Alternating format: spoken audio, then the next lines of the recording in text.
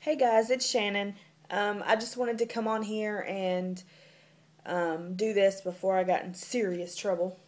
Um, Stacy, who is Froggy Green Stamper on YouTube, and I have started doing weekly challenges with each other just because we wanted to challenge each other to do something.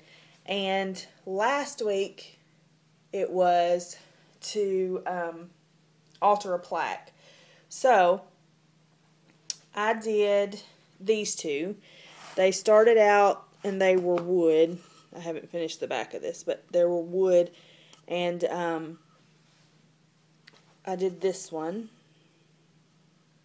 And what I did was I put the items, these little altered things, these are buttons and wood chip hearts and stuff, um, on there first. And then I put aluminum foil on top of it and I saw that technique done and I'm not sure what her YouTube thing is. I think it's Rach0113.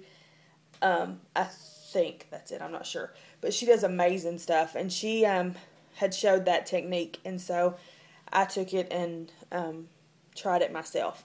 And then I just painted I painted it red and then I painted black on top of it and then sprayed it with water and wiped some of the black off.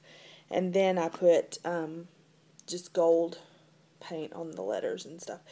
But um, I just used plain like Craft Smart acrylic paint and did that. And then with this one I did the same thing, only I used blues in it.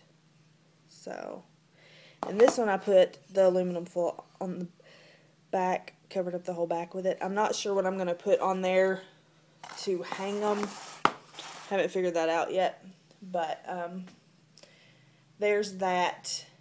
And then we, for this week, we're doing an altered box, and it has to be Valentine's Day themed, and I'm making my fiance a Valentine's book per se kind of thing. Blah blah. And uh so I'm going to take the opportunity to do that and I'll come back um, with another video and um, put that up.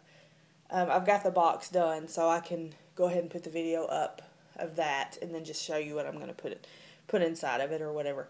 So, um, there's that and um, hope you guys like these plaques. Let me know what you think, and um, I hope y'all are having a blessed day. Thanks so much.